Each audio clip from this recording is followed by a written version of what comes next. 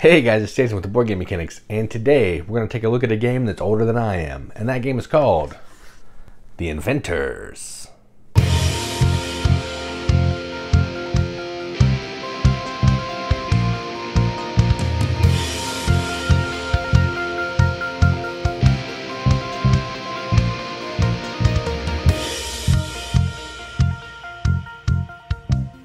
The Inventors is a game from Parker Brothers way back in the 70s.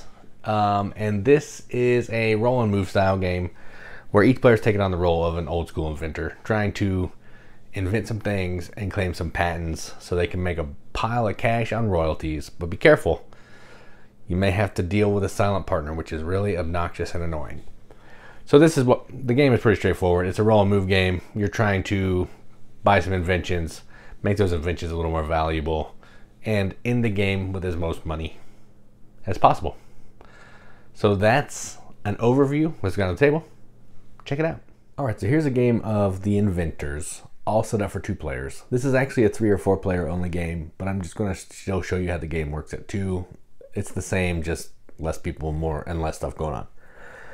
So what you're going to do in this game is you are trying to invent some items. So you have some A items, which are going to be silly things like easy wake alarm, some B items, which is a light up mouse, frightener, light up cat, or C, adjustable clothespins. There's four of each. A are the most valuable, B's in the middle, C are the least valuable. So what you're going to be doing here is you're going to be rolling the dice. The dice are going to be coming out of this incredible patent picker move maker machine. So what you're going to do on your turn, you have three options. You can play one of these cards, so I'll go ahead and show you the cards, what they do.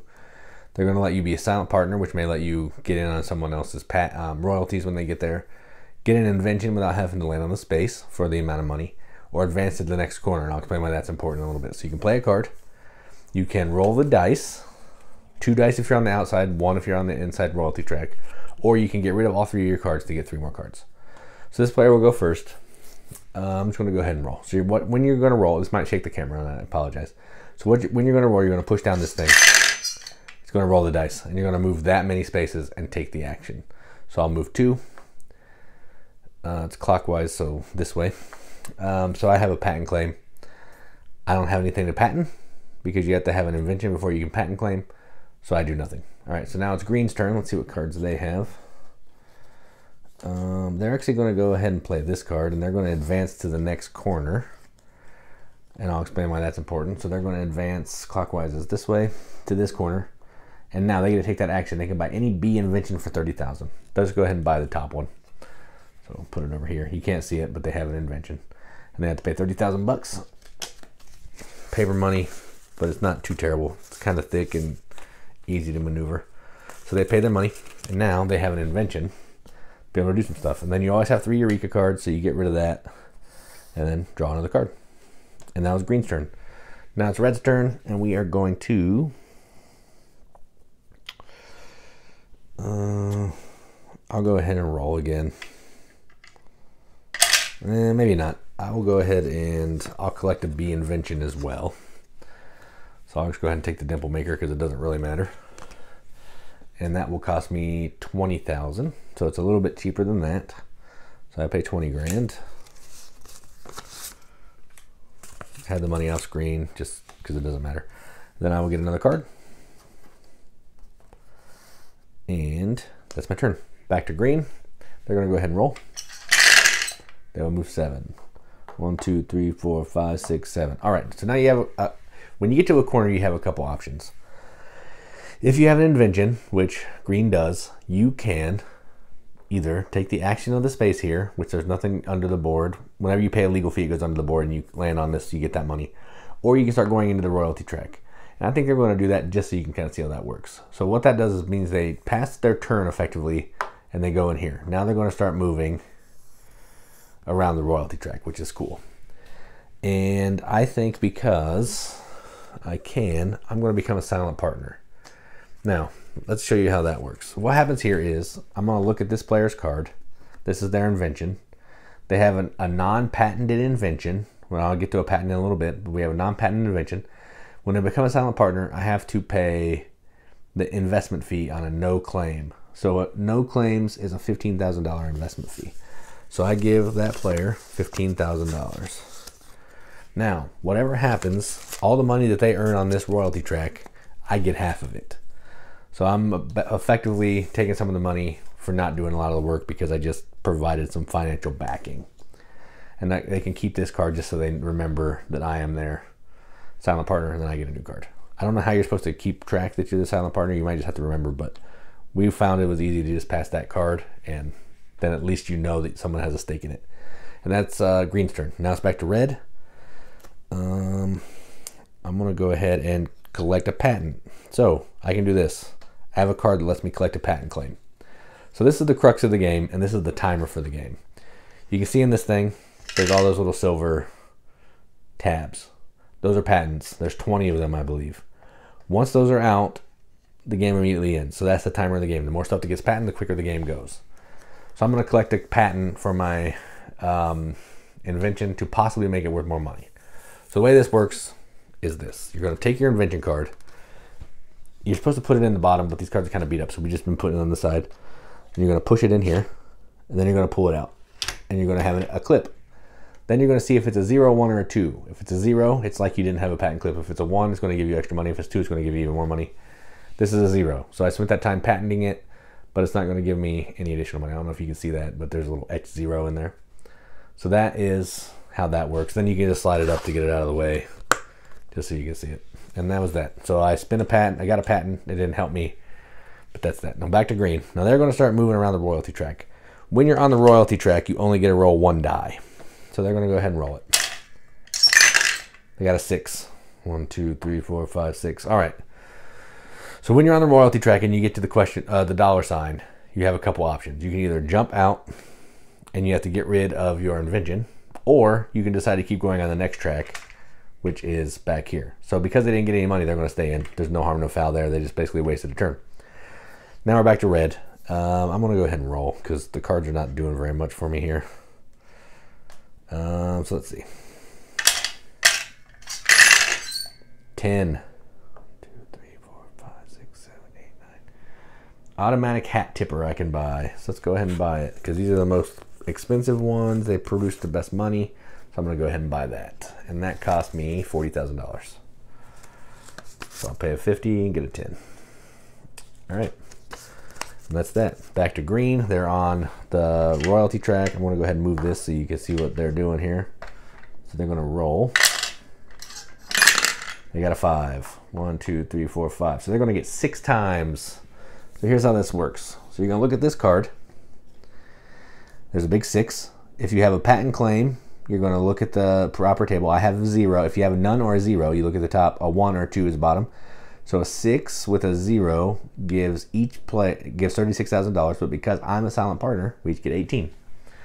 So five, six, seven, eight. Eighteen for green. Eighteen for me. And that's that. That's how you collect royalties. You can also sell, which gives you twice the actual price. And, you know, then you jump out of the track. I might not get into that, but basically what would happen is if you were on the royalty track and I sold, so say, you know, I, know, I was here. If I sell, my um, invention will go away, my patent clips out of the game, and then I go to the closest corner. The reason you might want to do that is because then you have to roll one or a two to be able to stay on this track. If you roll three, you come off the royalty track and your invention goes away without collecting any additional money. So that's part of the reason why you may want to do that. All right, back to red. I'm going to go ahead and roll again.